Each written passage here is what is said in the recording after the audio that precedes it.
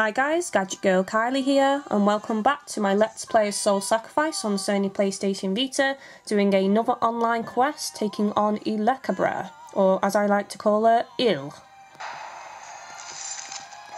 Once again questing with some random people, but also one of my PSN friends. Now this particular Archfiend is a bit of a pain because her weaknesses change throughout the fight. Normally her first weakness is stone, but she's also weak to ice and heat.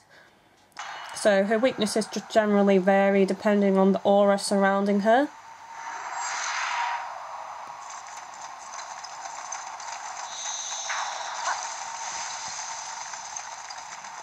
And she has a lot of pain in the ass attacks as well.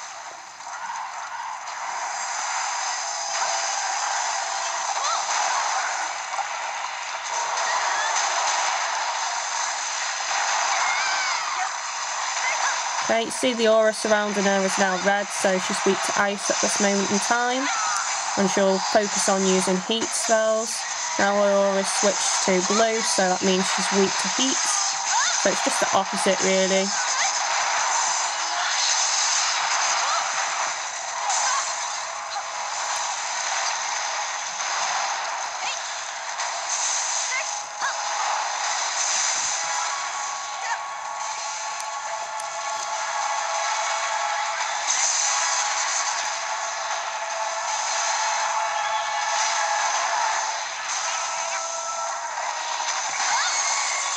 Where'd she go?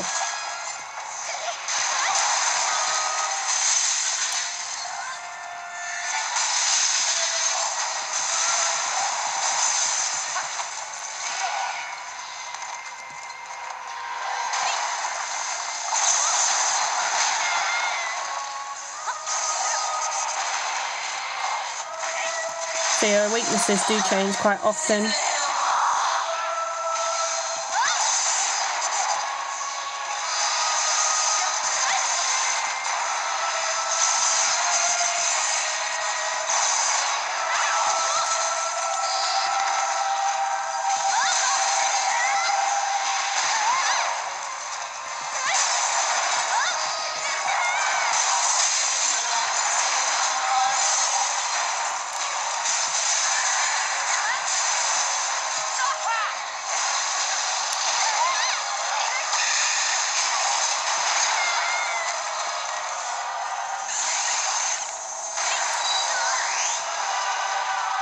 Yeah, she can petrify you, which is a bit of a pain in the ass, but if you enter um, Mind's Eye, you can actually avoid it, avoid getting hit by that, so...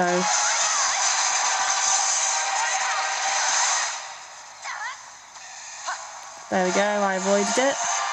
You can also block it with a shield, but I prefer not to waste a spell slot, because if you're prepared for it in advance, it's easily um, avoided.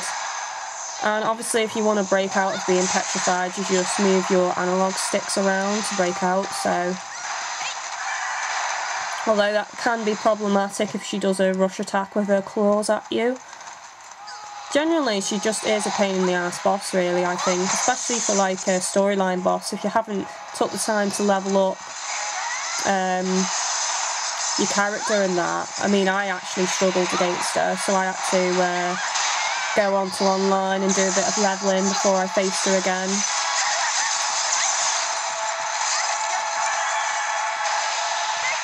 The, I think the problem is, is just she is a jack of all trades and she's so versatile um, that she's got two forms. She's got her standing up form and then she's got her faster form where she's on the ground and she just slashes at you. Oh man, did I just miss? Can't even tell what her weakness is right now.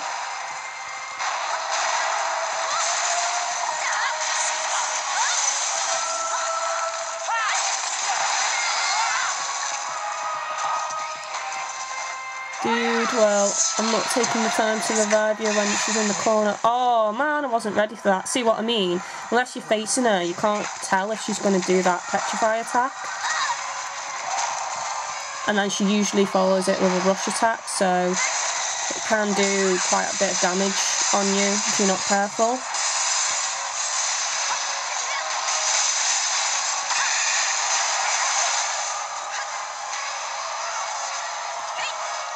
Come on, guys. Laura over here.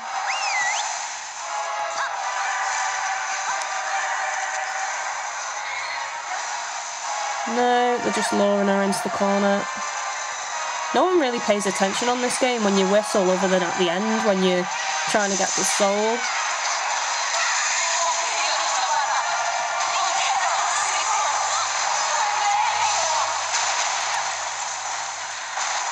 They only last for a few seconds, those bulbs, so it's a waste.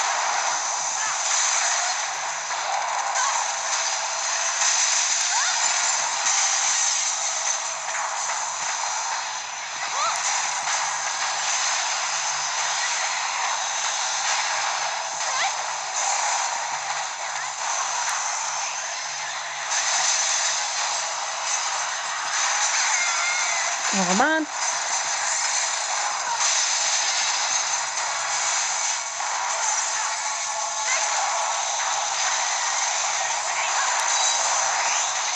So that's the only problem, if she fires off one of her uh, projectiles, it'll explode any uh, bulb magic you've laid down, so... And she's weak to heat right now.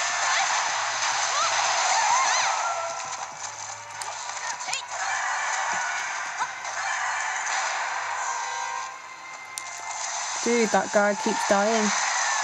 Oh, yeah, I hate that move. She hasn't done her most dangerous move yet, which is where she summons up snake-like tentacles from the ground. Um, but they can easily be dodged if you pay attention to the floor and just uh, roll out the way of the black spots on the floor. It's close to death though now, guys.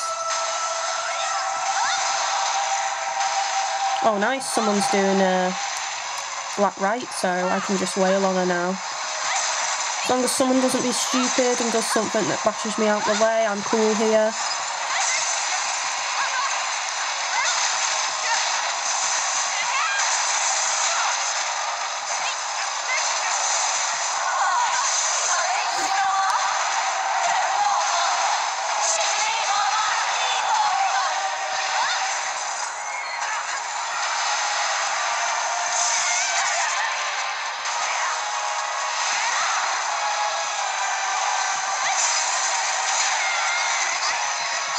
Jesus. Trapped in a corner here. Oh, nice.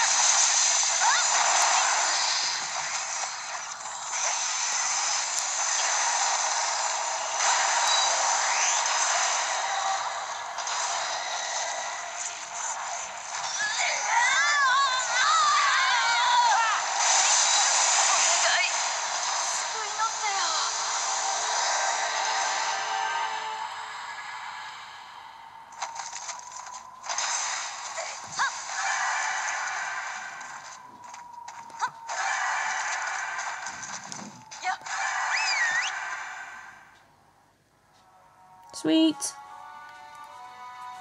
so yeah, we got through that quest without her doing her tentacle type attack. I don't even know what you'd call that, but it's hideous.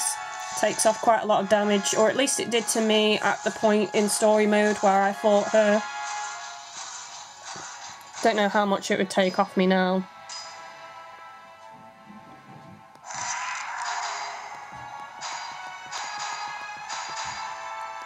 Oh, sweet. Got two summons, nice. Okay guys, well I'll stop this episode here. You've been watching Gadget Girl Kylie and this has been my Let's Play of Soul Sacrifice on the Sony PlayStation Vita. Don't forget to like and subscribe and I shall see you next time guys.